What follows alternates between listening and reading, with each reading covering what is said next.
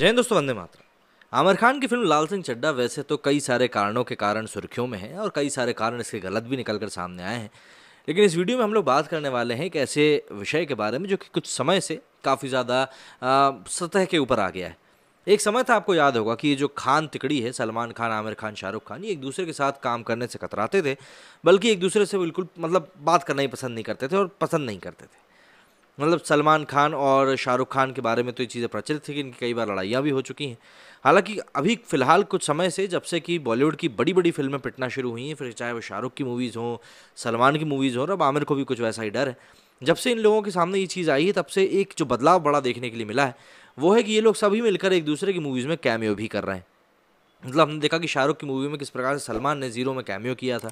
और इसी तरह के कुछ कैमियोज आगे भी भविष्य में निकलकर सामने आने वाले मतलब एक दूसरे को भरपूर सपोर्ट किया जा रहा है कि भैया तू मेरी दुकान चलवा तो मैं तेरी दुकान चलवाऊँगा। इसी फहरिस्त में अभी बात निकलकर सामने आ रही कि लाल सिंह चड्डा में शाहरुख खान की एंट्री आखिर कैसे हुई थी। और इसके साथ ही हम लोग बात करेंगे उस सर्वे के बारे में, जो कि अभी हाल ही में किया गया है पब्लिक पर, कि पूछने के लिए कि भाई लाल सिंह चड्डा कौन देखने जाएगा और कौन नहीं जाएगा, और उसमें जो खुलासे हुए हैं वो वाकई में चौंकाने वाले हैं। इन दोनों ही बारे में बात करने वाले हैं हम लोग इस वीडियो में। फ़िल्म लाल सिंह चड्डा रिलीज़ से पहले ज़बरदस्त सुर्खियाँ बटोर रही है। इस बीच फ़िल्म के लीड एक्टर आमिर ने एक ऐसा खुलासा कर दिया है, जो फैंस के लिए किसी बड़े तोहफे से कम नहीं। दरअसल एक्टर ने हाल ही में पुष्टि करी है कि फ़िल्म में शाहरुख खान भी नज़र आने वाले हैं। इस फ़िल्म में शाहरुख कैमियो में दिखाई देंगे। हालाँकि ये बात सामने नहीं आ सके कि फ़िल्म में शाहरुख का किरदार कैसा होगा। अद्वैत चंदन के निर्देशन में बनी इस फ़िल्म में करीना कपूर खान, मोना सिंह और नागा चैतन्य भी हैं। हाल ही में एक इंटरव्यू के दौरान जब आमिर से शाहरुख के कैमियो के बारे में पूछा गया तो उन्होंने कहा कि शाहरुख मेरे दोस्त हैं।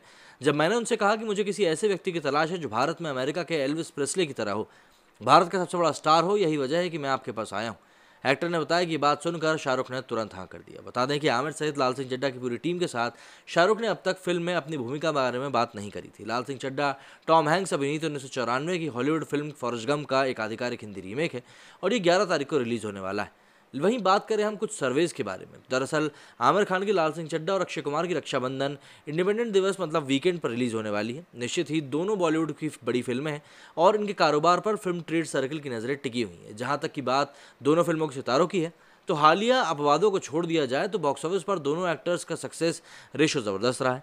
बॉलीवुड में इस वक्त उनके मुकाबले दूसरे ज़्यादा भरोसेमंद स्टार्स नज़र आ नहीं रहे हाल के कुछ सालों में आमिर खान की ठग्स ऑफ़ हिंदुस्तान और अक्षय कुमार की बच्चन पांडे, सम्राट पृथ्वीराज को छोड़ दिया जाए तो दोनों के खाते में कोई डिजास्टर दिखाई देती नहीं। लेकिन जहाँ तक बात लाल सिंह चड्डा और रक्षाबंधन की है तो फ़िल्मों के सिनेमाघर में आने से पहले ही उन पर काफ़ी बवाल मचा हुआ है। दोनों ही फ़िल्में, खासकर के लाल सिंह चड्डा के खिलाफ एक ज़बरदस्त नेगेटिव कैंपेन नज़र आ रहा है। अलग अलग वजहों को सामने रखकर फ़िल्म का विरोध किया जा रहा है। पिछले तीन हफ्तों से सोशल मीडिया पर आमिर खान, लाल सिंह चड्डा अक्षय कुमार और उनकी फ़िल्म रक्षाबंधन के खिलाफ मज़बूत हेट कैंपेन चल रहा है। आमिर और लाल सिंह चड्डा के खिलाफ दिख रहा कैंपेन तो और भी पुराना है। कैंपेन को जिस तरह मज़बूत दिख रहा है कि उसके, उसने मेकर्स को भी बैकफुट पर ला दिया है। लोगों की शिकायतों को लेकर आमिर को सफ़ाई तक देनी पड़ रही है। इन्हीं सब चीज़ों के बीच में एंटरटेनमेंट इंडस्ट्री से जुड़े एक्सपर्ट्स भी लाल सिंह चड्डा पर नेगेटिव कैंपेन के आशंकित असर पर विचार देते नज़र आ रहे हैं। मुख्यधारा के सेलिब्रिटी फ़िल्म समीक्षक और बिज़नेस एनालिस्ट तनादश ने भी अपने हैंडल पर एक पब्लिक पोल किया।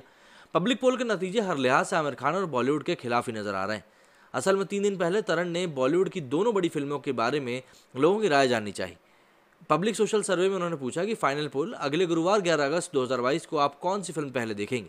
अभी वोट करें। ए के वर्सेज ए के में तरण ने तीन विकल्प दिए थे। तीन विकल्प में पहला था लाल सिंह चड्डा दूसरा था रक्षाबंधन और तीसरा था कोई मूवी नहीं देखेंगे।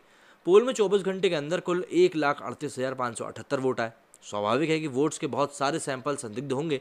ओवरऑल नतीजों का विश्लेषण करें तो क्लैश में फंसी दोनों फ़िल्मों का भविष्य बहुत ज़्यादा ठीक नज़र नहीं आ रहा। लाल सिंह चड्डा और आमिर खान दोनों एक साथ रिलीज़ होने वाली।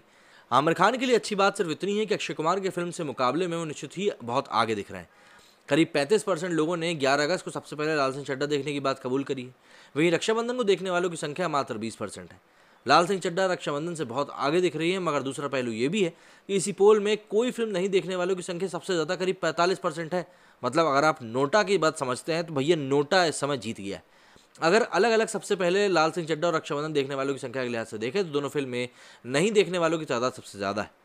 दोनों फ़िल्मों को देखने वालों की संख्या एक कर दी जाए तो उसके बावजूद कोई फ़िल्म ना देखने वालों की संख्या बस कुछ ही कम है।